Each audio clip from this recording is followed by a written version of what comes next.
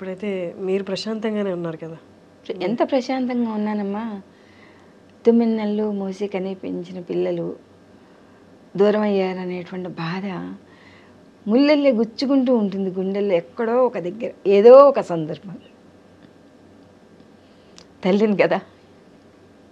మీ అమ్మాయి ఇదంతా చూస్తుంది కదా. మీ అమ్మాయి ఏమన్నా ఏమన్నా మాట్లాడారా? ఆవిడ రెస్పాన్స్ ఏంటి? నో రెస్పాన్స్ ఆవిడకి వాళ్ళ అమ్మాయిని నేను మెడిసిన్ చదివించాలంది. ఫైనాన్షియల్ సపోర్ట్ అయితే నేను చేయలేనమ్మా. మోరల్ సపోర్ట్ చేస్తాను. మీ దగ్గర ఎక్కడి నుంచి వస్తాయని డబ్బులు మిమ్మల్ని అడగడం? మీ దగ్గర డబ్బులు ఉన్నాయా? లేదమ్మా ఫ్లాట్ తప్పించి నా దగ్గర ఏమీ లేవు. ఇప్పుడు మీరు ఉంటుంది ఆ ఫ్లాట్లోనే. ఇంకేం మాట్లాడలేదు మీ అమ్మాయి? మా అమ్మాయి ఒకటే మా అమ్మాయి ఒకటే ఉంది. విజయవాడలో ఉంటుంది. మా అమ్మాయి నాడు చచ్చిపోయింది. ఆవిడకి నాకు సంబంధం లేదు. ఒకవేళ చచ్చిపోయినా మాకు చెప్పక్కర్లేదు అని సింపుల్. ఎందుకు అంత పెద్ద మాట అనాల్సిన అవసరం ఏంటి? వాళ్ళ అమ్మాయిని డాక్టర్ చదివించలేదు మెడిసిన్ చదివించలేదు. అంటే ఈ పని చేయకపోతే తల్లిని వద్దని వేసుకున్నారా? ఇల్లమ్మ పోతే తల్లొద్దు మెడిసిన్ చదివిపోతే తల్లొద్దా? కేవలం అనుబంధాలు బాంధవ్యాలు మనీతోటి ముడిపడి ఉన్నాయి వాళ్ళకి. ప్రేమలో ఆప్యాయతలు కాదు. నేనేమిటంటే పది మందిలో పుట్టాను నేను పది మంది ఉండాలి నాకని నేను అనుకునేదాన్ని. అందరితో ఉండాలి అందరూ ఉండాలి నాతోటి అని. కాకపోతే నేను ఈ ప్రొఫెషన్కి వచ్చిన తర్వాత భగవంతుడు ఈ రకంగా నాకు పది మందితోటి అనుబంధాన్ని పెంచాడు. అమ్మ అంటారు కొంతమంది అమ్మమ్మ అంటారు బామ్మ అంటారు.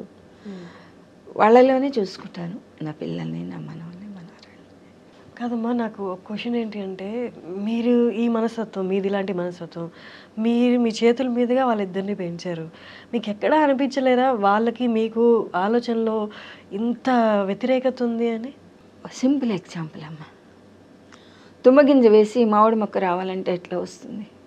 జీన్స్ ఎఫెక్ట్ ఎవరి genes father father side genes లేకపోతే ఫార్టీ ఫోర్ ఇయర్స్ కలిసి ఉండి కష్టము సుఖము మూడు ఆపరేషన్లు అయ్యాయి రెండు ఆపరేషన్లు యాక్సిడెంట్.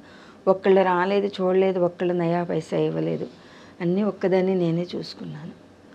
కనీసం ఇంత చేసింది నాకు ఈ టైంలో ఏదో కోపంలో ఏదన్నా అన్నా కూడా మనం పట్టించుకోకూడదు అని అనుకుని ఒక్క క్షణం ఆలోచిస్తే ఆ మనిషి ఈ రోజుకి ఇంకా బతికుండేవాడండి. ఆ మనిషి. నలభై నాలుగేళ్ళు కలిసిన మనిషే అంత వ్యతిరేకం పెట్టుకుని కడుపులో వెళ్ళిపోయాడు అంటే మరి ఆ పిల్లల మనస్తత్వం ఇంకెట్లా ఉంటుందమ్మా? సింపుల్గా చెప్పాలంటే. అంటే నేను వ్యతిరేకించడం కాదు. నా భావాన్ని నేను చెప్తున్నా. అంటే ఒక్కొక్కళ్ళ వేలు ఒక్కొక్క రకంగా ఉండొచ్చు.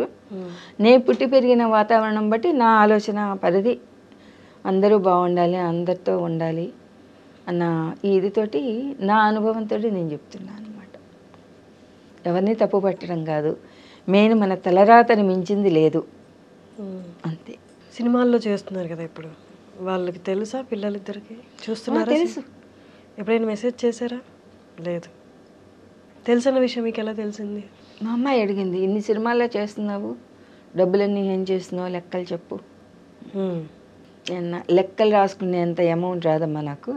నా ఖర్చులకు నాకు వస్తుంది. అయినా నేను ఎవ్వరికీ జవాబుదారీ కాదు. నన్ను ఎవరు పోషించట్లేదు. నన్ను నేను పోషించుకుంటున్నాను నాకు నేను లెక్కలు చెప్పుకోవాలి. ఇందాక మీ వారు వెళ్ళిపోయారని చెప్పారు కదా ఆ టైంలో మీరు విఆర్ఎస్ తీసుకున్నారు. మరి పెన్షన్ వచ్చేదా? ఇల్లు గడిచేది ఎట్లా మిమ్మల్ని మీరు అప్పుడు టైం అప్పుడు డబ్బులు ఎలాగా మీకు? ప్రాక్టీస్ చేశాను కదమ్మా. ఆ డబ్బులు ఉన్నాయి. ఆ డబ్బులు save చేసుకున్నావు. ఆ డబ్బులు సేవ్ చేసుకోవడం ఏం లేదమ్మా. ఆ డబ్బులు ఫీజులు కట్టి మా అబ్బాయికి ఫీజులు కట్టడం ఒక ఎత్తు అయితే మంత్లీ వచ్చేసి తన ఖర్చులకి నాలుగైదు నాలుగైదు వేలు అయ్యేవి. పేపర్ ప్రజెంటేషన్లు అని ఇవని. ఇవని చదువుకునే పిల్లలకి అవుతాయి కదా. అంతా మీరే చూసుకున్నారా? అన్నీ నేనే చూసుకున్నాను మీ హస్బెండ్ డబ్బులు ఇవ్వలేదా? ఆయన రిటైర్ అయిన తర్వాత ఆయనకి అమౌంట్ వచ్చింది కానీ అమ్మ డిపాజిట్ చేసుకున్నారు ఆయన. ఎంఐఎస్ పెద్ద ఎక్కువ ఏమొస్తుంది? త్రీ అండ్ హాఫ్ ల్యాక్ అప్పట్లో.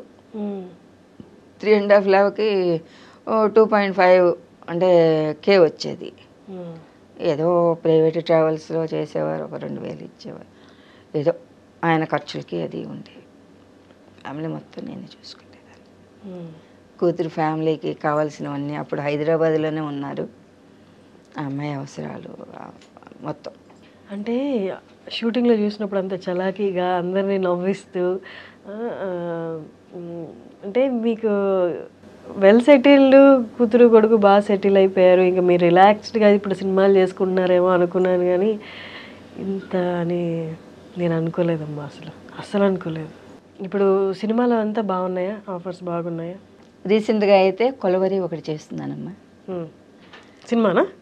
కొలవరి ప్రియదర్శి సార్ది. ఇంకోటేమో నాగ చైతన్య గారిది తండేలు ఒకటి చేస్తున్నాను ఓకే. మొన్నే సరిపోదా శనివారం అని నాని గారిది ఒకటి చేశాను ప్రభాకర్ గారి అబ్బాయిది బరాబర్ ప్రేమిస్తా ఆ. సినిమా ఒకటి. ఇంకో దానికి ఇంకా పేరు పెట్టలేదు. అది పెట్టారు కానీ చాలా పెద్ద పేరు. హర్షిత మూవీస్. ఓకే. చెప్పాలంటే సినిమాలో చేసే వాళ్ళకి ఆర్టిస్టులకి ఈ కోఆర్డినేటర్లు వచ్చేసి వన్ ఫోర్త్ వాళ్ళే తినేస్తున్నట్టుగా అనిపిస్తుందండి. వీళ్ళకి ఇచ్చేది తక్కువ. కోఆర్డినేటర్ వ్యవస్థ కోఆర్డినేటర్లు ఉండాలి. ఎందుకు? వాళ్ళకి ఆర్టిస్టులను చూపించడానికి. ఎందుకంటే ఇంతమందిని మేనేజ్ చేయడం కష్టం.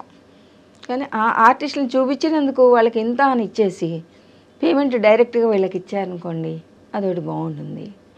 కంపెనీ ఆర్టిస్టులకి మినిమం ఇంత అని అంటే కాలమాన పరిస్థితుల ప్రకారం అన్నీ పెరిగిపోయాయి.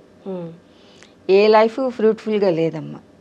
ఎవరి లైఫ్ కూడా ఇదివరకు కరోనా రాకముందు అన్నీ కేజీ నలభై రూపాయలు అంటే ఇప్పుడు కేజీ వంద రూపాయలు ఏదైనా. వంద పైనే ఉన్నాయి కొన్ని కొన్ని మరి ఆ రోజున వెయ్యి రూపాయలు రెండు వేలు ఇచ్చి ఈ రోజున కూడా అదే అమౌంట్ అంటే చాలామంది స్ట్రగుల్ అవుతున్నారు. అదొకటి మారాలి అనుకుంటున్నారా? సినిమా ఇండస్ట్రీలో ఏదైనా మార్పు రావాలి అంటే మార్పు అంటేనమ్మా అది మనం ఒక్కళ్ళు కోరుకుంటే రాదమ్మా. అది ప్రొడ్యూసర్స్ నుంచి రావాలి. ప్రొడ్యూసర్స్ డబ్బులు ఇస్తున్నారు. వాళ్ళు ఇస్తున్నారు. ఈ మధ్యలోనే కానీ మధ్యలో గ్యాంబ్లింగ్ అయిపోతుంది. అది లేకుండా డైరెక్ట్ ఆర్టిస్ట్కి ఇస్తే ఇదివరకు సుబ్రహ్మణ్యం ఫర్ సేలప్పు దిల్రాజు గారు ఏ రోజు డబ్బులు ఆ రోజు ఇచ్చేసేవారు. మంచి పేరుంది. దిల్రాజు గారు బ్యానర్ అంటే ఇచ్చేది ఎంతైనా సరే వెంటనే ఇచ్చేస్తారు. పర్ఫెక్ట్గా ఇస్తారు అని.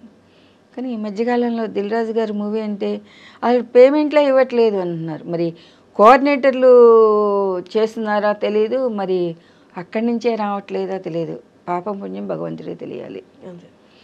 కానీ ఆయన పేరు మాత్రం బదనాం అయిపోతుంది. నేను అనుకోవటం ఆయన ఇవ్వకుండా ఉండరు అనే నేను అనుకుంటున్నాను. ఎందుకంటే స్టార్టింగ్లో ఇచ్చి ఇప్పుడు ఇవ్వకుండా ఉంటారా. ఉండరు. ఓకే. అమ్మ మీ కోడలు అన్నారు అన్నారు కదా ఆవిడ ఎక్కడున్నా సుఖంగా ఉంటే చాలు అని మీ సెకండ్ మ్యారేజ్ గురించి చెప్పినప్పుడు. కానీ నాకు తెలిసి అందరూ అలా రియాక్ట్ అవ్వరు. కొన్ని చేదు అనుభవాలు కూడా ఎదురై ఉంటాయి కదా. సమా సహజంగా సమాజం అంటారు కదా. అలాంటివి ఎదుర్కొన్నారా? చాలామంది అన్నారు మా ఆర్టిస్టులే. ఈ వయసులో ఎవడికి పెళ్ళి అవసరమా? ఎవరితో అన్నా ఉంటే సరిపోతుంది కదా అని అంటూ అంటే లీగల్గా పెళ్ళి చేసుకోవడం తప్పు ఎవరితోనే ఉంటే ఓకే. వాళ్ళ దృష్టిలో. నేను మ్యారేజ్ చేసుకున్నా కూడాను నా అప్పచెల్లెలతో అన్నదమ్ములతో అందరికీ చెప్పి మా మదర్కి కూడా చెప్పి చేసుకున్నా. లీగల్గా నేను ప్రొసీడ్ అయ్యి అడిగి రిటైర్డ్ జడ్జిని చేసుకున్నాను.